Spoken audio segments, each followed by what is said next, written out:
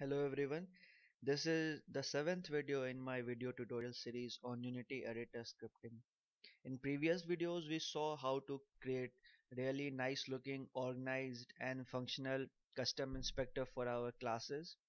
We also saw how to create these custom inspectors using the serialization method. These custom inspectors are really useful and they help in uh, rapid prototyping and ease of use for our designers. Now, organizing our inspector and making it more beautiful is one thing. What if we want even more functionality out of our inspector? What if we want to do some things with our data, with our class from right here in the inspector in the edit mode without going into the play mode? What if we want to check things that may happen in the play mode and we want to check them right here inside the editor. For those things we can make uh, buttons. These buttons can be used in a lot of different ways. The two uh, situations that I have found these buttons right here inside the custom inspector to be really useful. The first one is that if you want to trigger any events that are going to happen inside the game at a certain time. So for example if uh, if the player dies there is a particular sound there is a particular animation and some text. So when you are developing the game when, when you want to test this behavior you don't always have to go to an enemy and die there to trigger those behaviors. What you can do is make a button here that will trigger player death and all those behaviors that follows player death you can check it right here using the button. You don't have to iterate everything each time. So it acts like a shortcut to different events. So it helps you in debugging in checking your code and in checking your behavior. The other major use of buttons in the custom inspector is that you can use this button for many utilities or tools for your classes. For example if you want to save your player uh, in a text file for example if you want to create a json or xml or those sort of things that can be classified as tools or utilities they can be achieved using buttons in your custom inspectors. These uh, the use of buttons are not limited to these two examples that i gave you. These buttons are really limited by your imagination that how you can use your buttons inside your custom inspector to increase your productivity.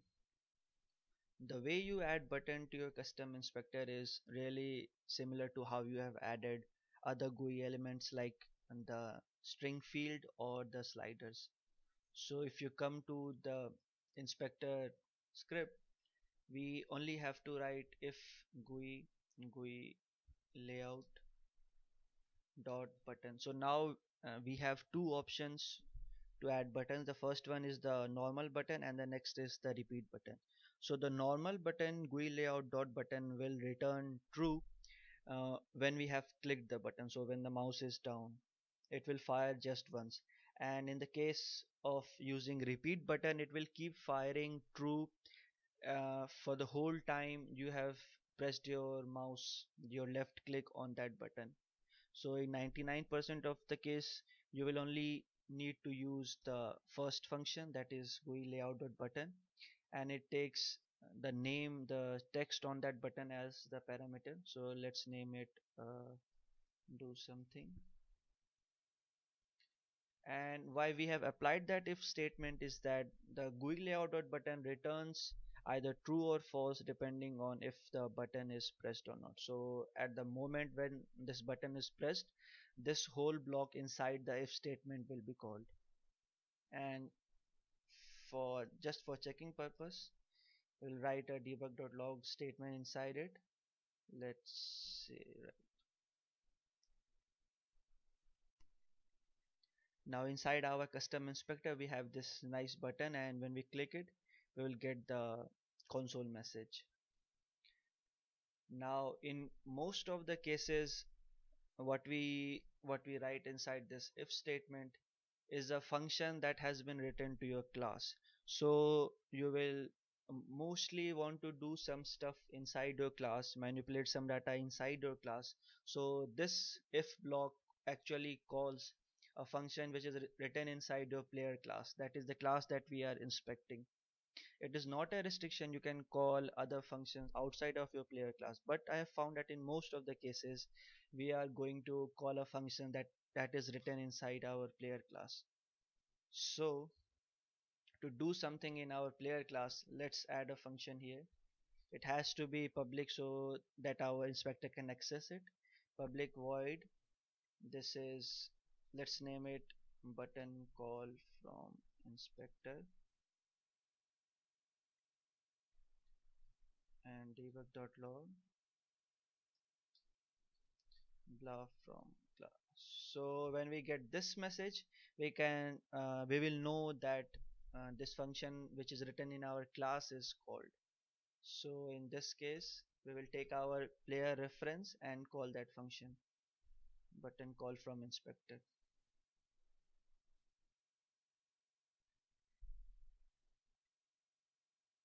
right so the console message console message that is coming from the class. So so you saw how you can call functions inside your player class which is the class that uh, we are inspecting from a button inside our custom inspector. Inside this inside this function written inside our class we can do all sorts of things so I will give you one example of how you can use this button to generate a random name for your player.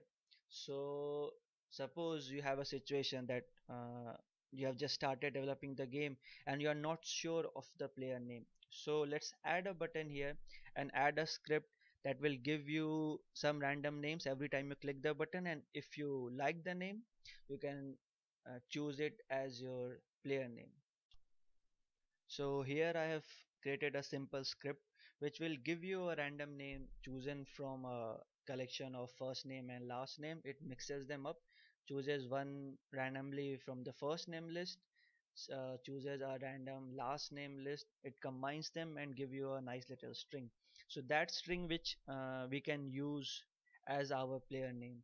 So if you want to see the random name generator class it is a simple static class and we use this function get random name which re it returns uh, a string which is a collection of a random first name and a random last name. So the get random first name will randomly choose a first name from this list of first names.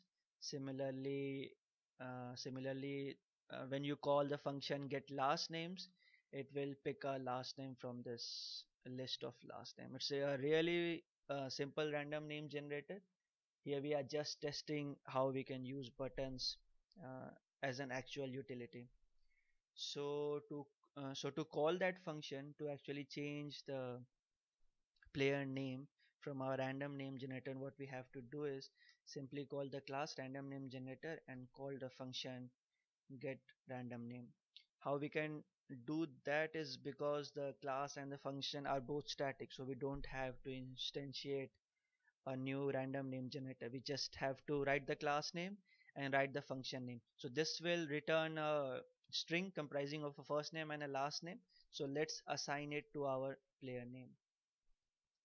And now coming to our player inspector. Okay so let's also change the button name to what it actually does so yeah. We just have to change the label of our button and rename it to a random name. Right. Now inside unity what you can uh, what you can do is just click on this button random name and it, it will generate random names for your player for example Isaiah Gonzalez Maya Howard Diaz you can do it as many times you like until you arrive at a name that you think is good for your player. Now this chosen name is permanent. So even if you go into the play mode even if you close your unity projects this name is permanent. This is not like any change that you have made in the game game mode Now I will very quickly show you how horizontal layouting works with buttons. So let's add our editor GUI layout dot begin horizontal and its end tag that is end horizontal. Let's create the same button just to look at how uh, horizontal layout works on buttons. So in this case, uh, these two buttons will be equally separated inside your inspector. Even if you move your inspector, change its width. So this way you can uh, make really compact group of uh, buttons inside your inspector. So if there are some similar functionalities, like here you can have a random name, random health, and these sort of buttons, you can arrange them using the horizontal or the vertical layout system. So this was an overview of how you can customize the look of your inspector, how you can create custom inspector for your classes.